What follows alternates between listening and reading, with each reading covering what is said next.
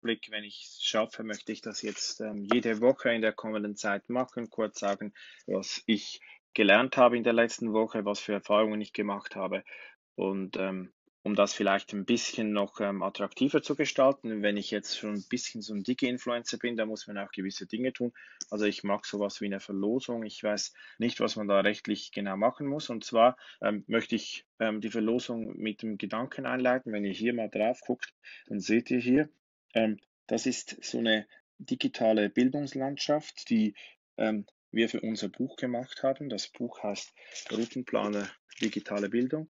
Ähm, dieses Buch verlose ich, nämlich drei Exemplare. Ich sage auch gleich, wie ihr es bekommt. Und hier auf dieser genialen Karte seht ihr so ein bisschen diese Bildungslandschaft. Also wir haben ähm, einen Kontrollverlust, ähm, der ist eingezeichnet. Dann haben wir die Lehrstation, die Lernstation, die Lehrstation, die Medienkompetenz-Arena.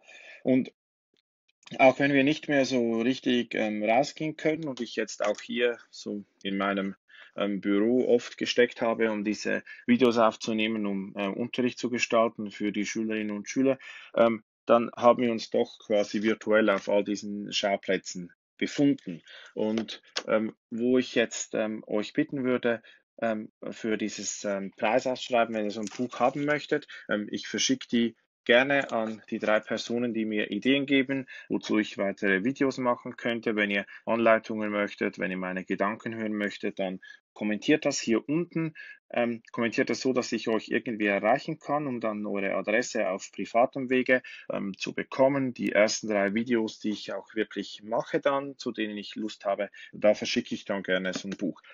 Ähm, gut, also wir haben jetzt ähm, ganz viele solche Erfahrungen gemacht und zunächst muss ich sagen, dass ich gestern einfach sehr, sehr müde war nach all dem. Ich finde diese ähm, Distanzlernsequenzen, ähm, Digi-Fernunterricht mit meinen Klassen, die sind ähm, anstrengend. Ich versuche so ein bisschen bei allen den Puls zu fühlen, wo stehen sie und habe da immer im Hinterkopf auch die Angst, dass es Schülerinnen und Schülern nicht so besonders gut geht. Das ist auch etwas, was sie teilweise ausdrücken, dass sie sagen, es ist ähm, jetzt zu Hause nicht so einfach, auf so engem Raum vielleicht zu sein, ähm, dass die Eltern mir genau zusehen, wie ich lerne, dass sie vielleicht ihre Vorstellungen dann auch auf mich übertragen ähm, und ich nicht an einem anderen Ort bin und ähm, so die Erziehungsfunktion der Eltern und die Lernbegleitfunktion von vielleicht Amateurinnen und Amateuren da plötzlich verschmelzen.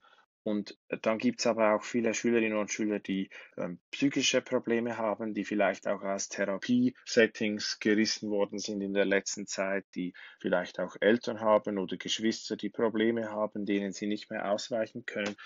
Und ähm, das ist schon eine Belastung, so wie sich das vorzustellen, daran zu denken, ja, was könnte ich jetzt machen, wenn ich ein bisschen Unterricht mit ihnen mache über Videokonferenz, über Mail, ähm, nicht so einfach. Und wenn diese Settings dann ablaufen, dann ähm, bin ich ähm, sehr oft so in der Situation, ganz viel Feedback geben zu müssen. Ich habe den Eindruck, ich müsste jetzt so viele eins zu eins betreuen und das häuft so ein Pendenzenberg an, dass ich gar nicht mehr alles abarbeiten kann, weil ich gleichzeitig mir überlegen muss, wie bereite ich den Unterricht für nächste Woche vor, wie ähm, erledige ich alle diese Schreibschulden, diese Feedbackschulden, die ich noch habe und das ist dann so die ganz große Erkenntnis. Ich muss versuchen zu reduzieren und ich darf auch keine Angst haben, bei den Klassen wenige ähm, verbindliche Anlässe zu setzen, vielleicht auch die, die Anforderungen etwas runterzuschrauben, nicht gerade so die ganz tollen Superprojekte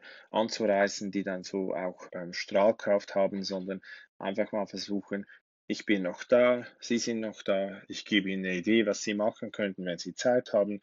Wenn Sie es nicht machen können, nicht so schlimm. Wenn Sie es erst später machen können, auch nicht so schlimm. Wenn ich erst später Feedback geben kann, alles nicht so schlimm. Ich glaube, das ist so wie ähm, der erste Schritt. Ähm, das zweite ist, dass ich ähm, eine enorme Solidarität spüre, ähm, auch von Eltern, auch von anderen Lehrkräften, die versuchen, Angebote auf die Beine zu stellen.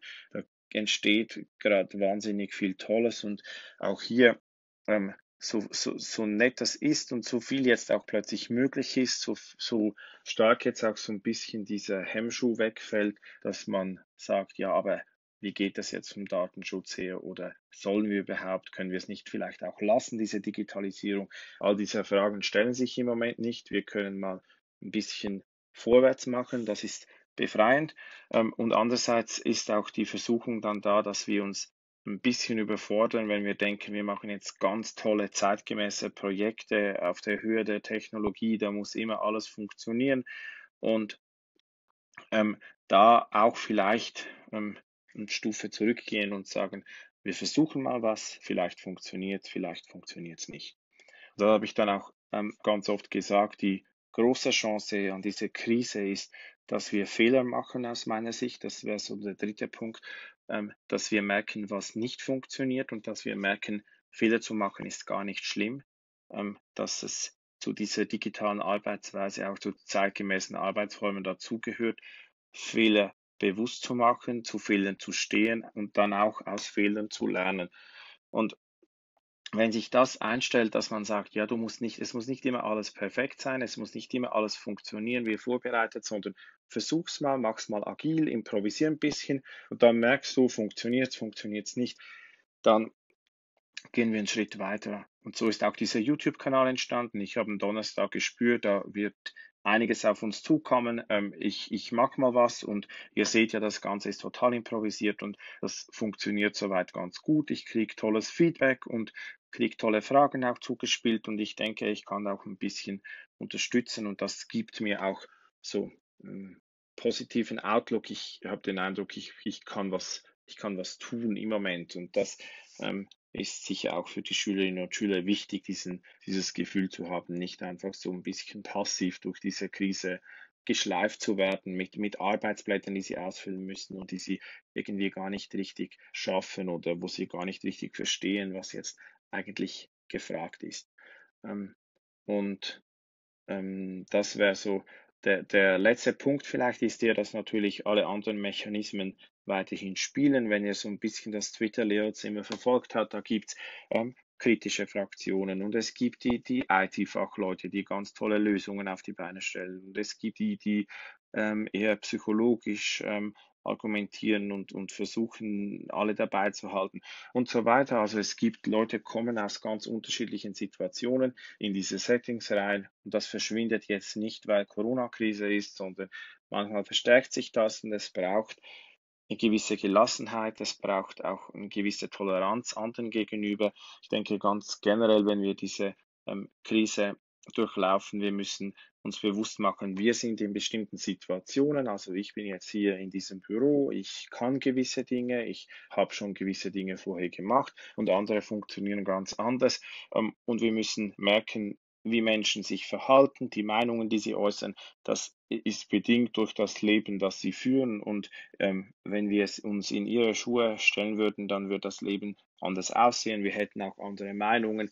Ähm, andere sind nicht dumm oder unfähig oder ähm, böse, sondern oft haben sie andere Erfahrungen gemacht und so handeln sie auch. Also ein Aufruf an ähm, euch, seid tolerant, seid nett zueinander und senkt die Ansprüche an euch und auch die Ansprüche an anderen, ähm, macht Fehler und lernt daraus. Danke fürs Zuschauen. Das war der erste Wochenrückblick. Wie gesagt, ähm, was möchtet ihr gerne hören im Kanal? Wenn da gute Ideen reinkommen, mache ich gerne